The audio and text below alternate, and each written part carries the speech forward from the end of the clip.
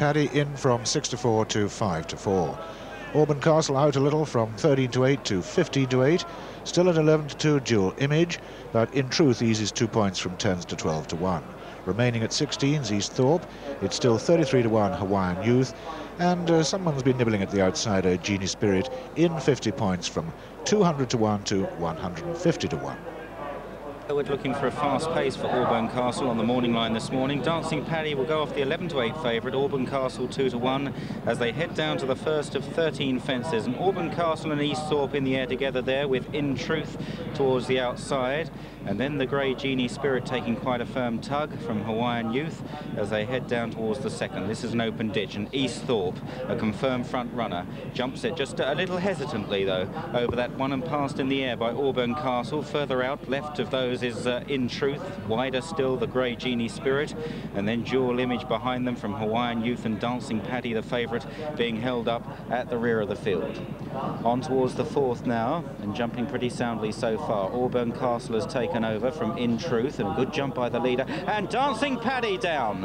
An awful looking fall there. Dancing Paddy held up to uh, come with a late run by Charlie Swan who's up on his feet all right and the horse I'm happy to say is galloping on sound as a pound. So no, not too much damage done, only to the punters' wallets. As they pass the stands then, with a circuit in front of them, and it's Auburn Castle by a length to In Truth, then Easthorpe in third, Genie Spirit is fourth from Dual Image, and Hawaiian Youth is some way detached from those now. Hawaiian Youth who was slightly hampered by Dancing Paddy's departure. So swinging left-handed then out into the country, the next they take will be a plain fence, it's number five, and Auburn Castle with his task made rather easier now by Dancing Paddy's fall. Auburn Castle by a little more than a length to In Truth.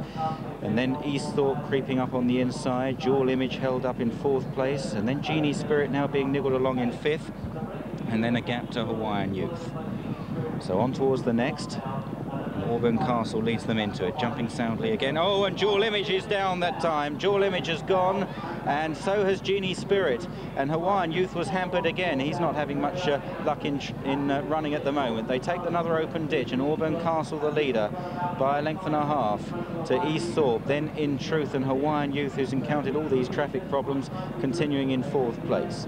Another plain one coming up and Easthorpe driven up to join Auburn Castle. In truth on the outside quite a sight there. The three horses in the air together.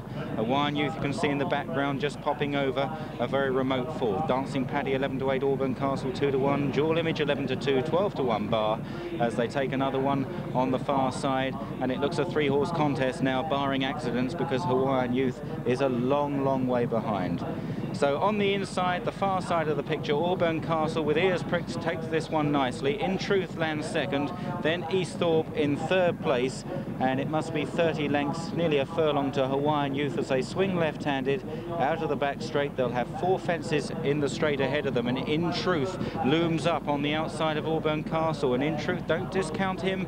His trainer, Steve Gollings, reckons he's good enough to go to Cheltenham, and he's laying down a strong challenge to Auburn Castle as they head down to the fourth fourth last. And there it was just Auburn Castle on the inside. In truth, joining him. They're pulling five lengths clear of Easthorpe, who's now got work to do. Forget Hawaiian Youth, he's well tailed off. Here's the final open ditch. Auburn Castle leads by a half length going into it. In truth, uh, very close on landing, however, just nodded slightly and a good race in prospect. Easthorpe is back in third. They've got two left to go. Auburn Castle on the far side under Jamie Osborne. In truth on the outside, perhaps just landing first in truth and Jason Titley. Now Auburn Castle pulled the whip and what will he find? One fence left to go. In truth, just up in front from Auburn Castle. In truth, ploughed through it. Birch bashing blunder and that's cost him dear. Auburn Castle left clear now. In truth, trying hard to rally in second place. He'll be a good horse if he can recover from that. Auburn Castle is getting very weary on the running. He may have to get off and push him. It's Auburn Castle out in front from In Truth up towards the line. Auburn Castle holding on from In Truth but in truth, surely an unlucky loser. Auburn Castle by a length and a half to in truth. They're clear of Easthorpe in third. And looking back, Hawaiian Youth is completing for a very remote fourth place. Well, it all changed, didn't it, at the final fence here. Auburn Castle and In Truth absolutely locked together. But uh, it's an old cliche, jumping's the name of the game, and it has cost In Truth victory. He rallied most tenaciously on the run-in but that vital advantage handed to Auburn Castle, the 2 to 1 winner at that final fence, has proved decisive.